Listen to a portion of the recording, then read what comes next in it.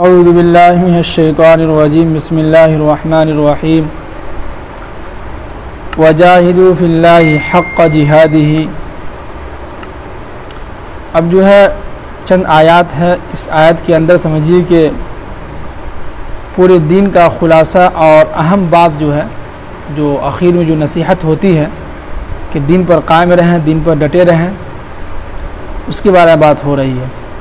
कि वजाहिदु फ़िल्ला हक़ जिहादी ही आप अल्लाह के रास्ते में जिहाद जो है, इस तरह कीजिए जैसा कि हक़ जिहादी ही जिहाद करने का हक़ है। यहाँ पे जिहाद करने से बहुत सारे मुराद हैं। नंबर एक पे ये है कि जब आप जंग में हो, कुफ़ार मशरकिन से आपकी जंग हो रही हो तो कोशिश कीजिए कि वहाँ पे जम के रहें, डट के रहें, पीछे ना हटें। दूसरा ये माना लिया गया है कि जब आप दीन इस्लाम में दाखिल हो चुके हैं तो आप इस्लाम की हर एक बात को जो है दिल से अपनाइए, उसके अंदर जो मुसीबतें मुसीबतें हैं, मुशक्क़त हैं, उसको बर्दाश्त कीजिए, अपने अंदर जो है बर्दाश्त करने का मद्दा पैदा कीजिए। वो ये है, जिस तरह जो है, और तीसरा ये भी है कि हम जो भी काम करें अखलास के साथ करें। अल्लाह जिस तरह जो अखलास होना चाहिए, जिस तरह जो है नीयत जो है साफ़ होनी चाहिए, अल्लाह के लिए होना चाहिए, वो हम करें, जिस तरह हक़ होना चाहिए। ये तीन चीज़ें माना है और बहुत सारी माना है। चौथा ये भी है कि आप जब दीन इस्लाम के अंदर दाखिल हो गए हैं तो दीन इस्लाम के अंदर बहुत सारी दिनों के अंदर ख्वाहिशें होती हैं, उसको दबाना होता है। जैसे कि हमारी ख्वाहिशें हैं, कभी कभी दिल करता है कि गाना सुने, या फिर फ़िल्म देखें, या कुछ ऐसी चीज़ें देखें, या शराब पिए, या कुछ ऐसी चीज़ें जो हराम है इस्लाम के अंदर। तो दिल करता है, कभी कभी ख्वाहिश होती है लोगों को देख के। लेकिन उसको दबाना है, उसकी तरफ़ नहीं जाना है, उसको जो है पीछे करना नहीं नहीं, ये गलत चीज़ है। तो ये भी सारी चीज़ें हैं। तो सारी चीज़ों में खुलासा यही होगा कि वजाहिदु फ़िल्ला ये हक़ जिहादी, अल्लाह के रास्ते में, अल्लाह के दीन में, इस्लाम में शरीयत में जो जिहाद है, जिस तरह का आप काम कर रहे हैं, उसको बिल्कुल हक़ तरीके से अखलास के साथ अल्लाह के लिए जो है वो काम कीजिए। आगे फरमाए कि हुआ तबाकुम, अल्लाह ने जो है तुम लोगों को चुना है। कि वमा जालकुम फ़िद्दीन मिन हरज। और अल्लाह ताला ने इस दीन के अंदर जो है तुम्हारे लिए जो है तंगी नहीं रखा। यानी ये जो दीन जो है अद्दीन यसरून के तहत ये दीन हमारे लिए क्या है? आसान कर दिया गया है आसान तरीके में जो है हमारे लिए जो है किया गया है। इसके अंदर कोई तंगी नहीं है ना कोई परेशानी है। हाँ कुछ चीज़ें ऐसी हैं जो हमारे लिए मशक्क़त की बायस हो, हो जाती है। हमारे लिए जो है शुरू शुरू में जो है वो थोड़ा सा अजीब लगता है, लेकिन जब उसकी आदत लग जाती है तो इन वो इंसान जो है दिन पर चलना उसको आसान हो जाता है। आगे फरमाएँ कि मिल लता अबी अबीकुम इब्राहिम, और इब्राहिम आसमाम के दीन को जो है मजबूती से थामे रखिए। हुआ सम्मा कुमुल और आपका नाम यानी कि मुसलमानों का नाम जो है मिन कबल, इससे पहले भी मुसलमान रखा गया था। हज़रत इब्राहिम आला नबीना सलाम की औलाद में से जो है अल्लाह के नबी सल्लल्लाहु अलैहि वसल्लम है कि नहीं? तो उस हिसाब से कह रहे हैं कि हुआ सम्मा कुमुल मुसलमिन। इब्राहिम आसमाम के दौर में भी तुम्हारा नाम मुसलमान रखा गया था। तो मिन कबल हाजा, इससे पहले। और आगे ये भी कह रहे हैं कि वफ़ी हाजा, इस कुरान के अंदर भी जो है तुम्हारा नाम क्या रखा जा रहा है?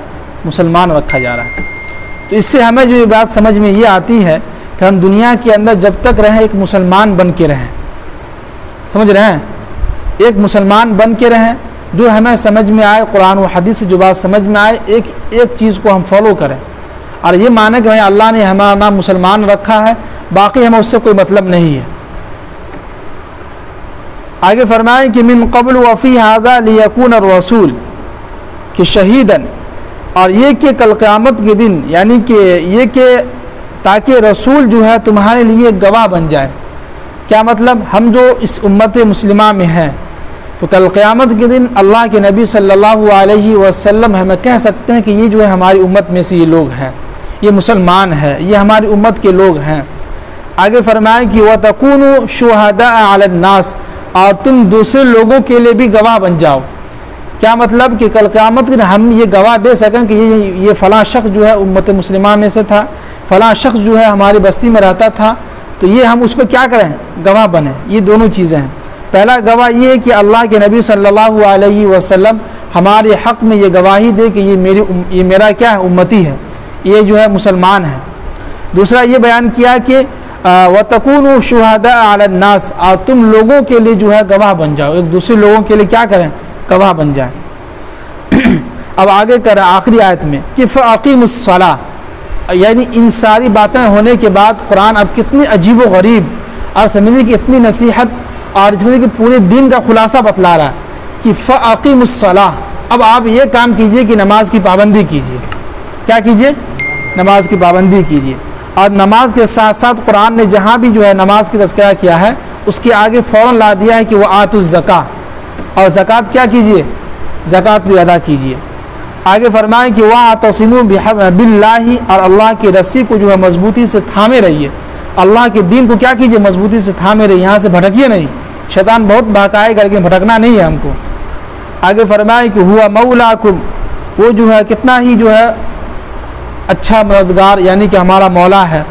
फ़न अमल मौला तो कितना ही अच्छा जो हमारा मददगार, यानी कि अल्लाह ताला हमारा मौला है। और आगे फरमाए कि वह नियमन नसीर, और कितना ही अच्छा जो है मददगार हमारे अल्लाह ताला है।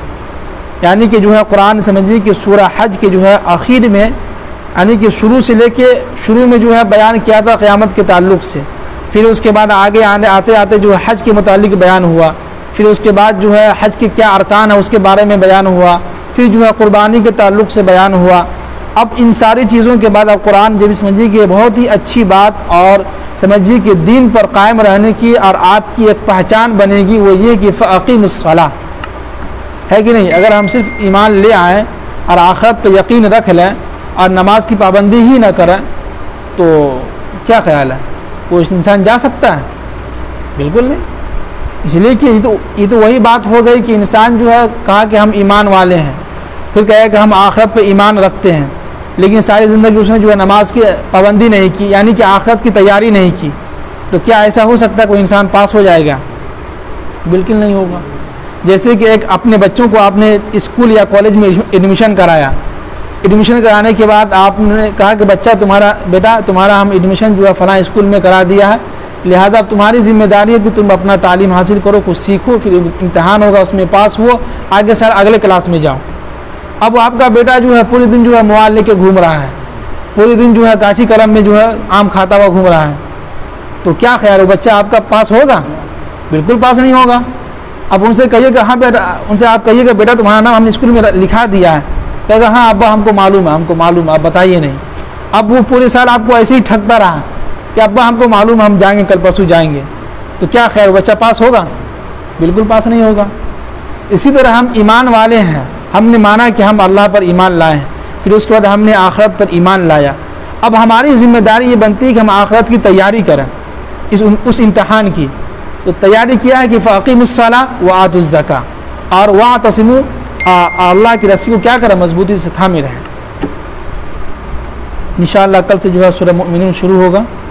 अल्लाह ताला हम सबको अमल की तोफ़ी नसीब फरमाए। आमीन।